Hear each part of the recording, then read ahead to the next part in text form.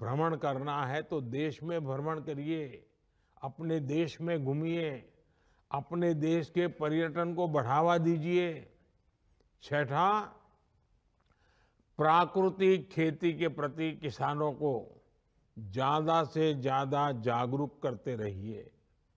मेरा सातवां आग्रह है, मिलेट्स को, श्री अन्न को, हमारे यहाँ जो बाजरा और जवार खाते हैं ना, श्री अन्न को अपने जीवन में शामिल करिए।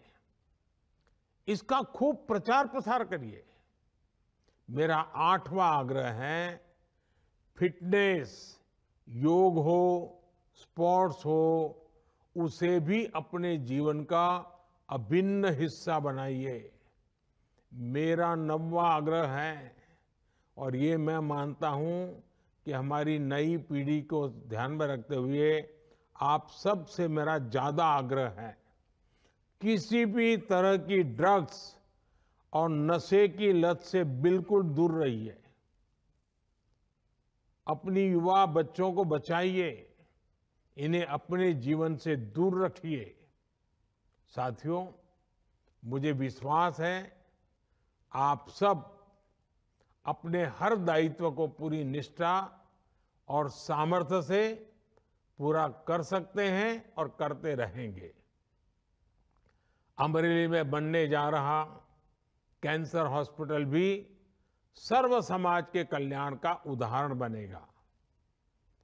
मैं लेवा पाटीदार समाज और श्री खोडलधाम ट्रस्ट को उनके भविष्य के आयोजन के लिए बहुत बहुत शुभकामनाएँ देता हूँ।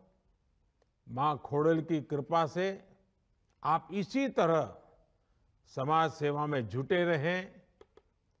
एक बार फिर आप सभी को मेरी बहुत बहुत शुभकामनाएँ। लेकिन जाते जाते एक और बात कह दूँ, बुरा मत मानना।